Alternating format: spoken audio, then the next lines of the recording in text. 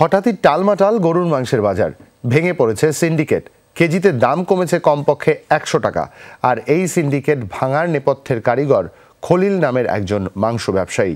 তিনি প্রথম রাজধানীতে পাঁচশো পঁচানব্বই টাকা কেজিতে গরুর মাংস বিক্রি করে উল্টে পাল্টে দেন সবকিছু। ফলে গত ছয় মাসেও যারা দোকানে যাননি, তারাও নিচ্ছেন মাংসের স্বাদ। বিভিন্ন সংস্থার হিসেব বলছে, গত এক বছরে মাংস ব্যবসায়ী সিন্ডিকেট হাতিয়ে নিয়েছে প্রায় দশ হাজার কোটি টাকা। সহকর্মী আশিক মাহমুদ জানাচ্ছেন বিস্তারিত।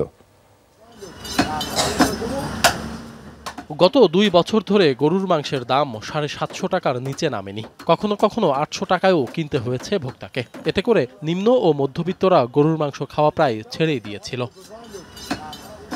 এমন পরিস্থিতিতে গত মাসে হঠাৎ করেই ঘোষণা দিয়ে প্রতি কেজি গরুর মাংস পাঁচশো পঁচানব্বই টাকায় বিক্রি শুরু করে রাজধানীর খিলগাঁও এলাকার মাংস ব্যবসায়ী খলিল। এমন খবরে হুমড়ি খেয়ে পড়ে ক্রেতারা।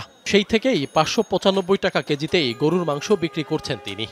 আগে তো আটশো টাকা কেজি ছিল তো দামটা একটু বেশি ছিল।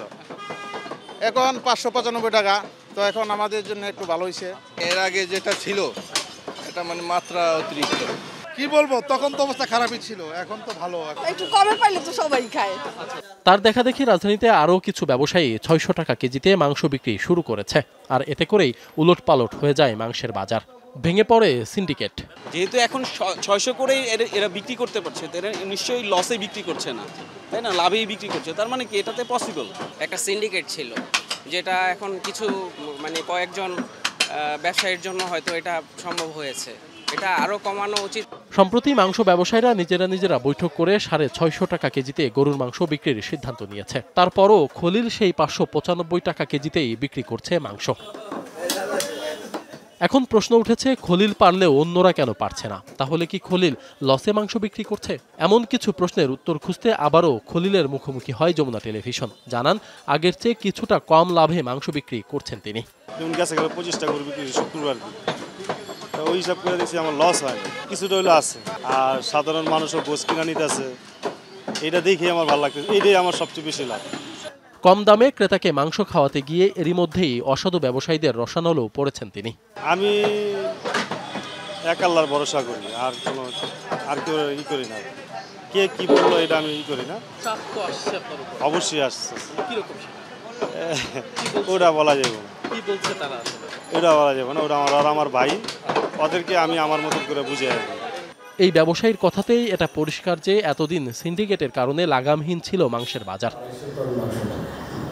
ভোক্তা অধিকার সংরক্ষণ অধিদপ্তর বলছে তাদের সব সুপারিশ মেনে যদি সরকার কার্যকর পদক্ষেপ নেয় তাহলে পাঁচশো টাকা কেজিতে মাংস বিক্রি করা সম্ভব। আমরা যদি খলিলের কেসটা স্টাডি করি সেখানে এই যে ব্যবসায়ীদের যে এই যে চক্রটা সেই জায়গা থেকে কেউ সাহস করে বেরিয়ে আসলে তখন কিন্তু আমাদের জন্য সহজ হয়ে যায়।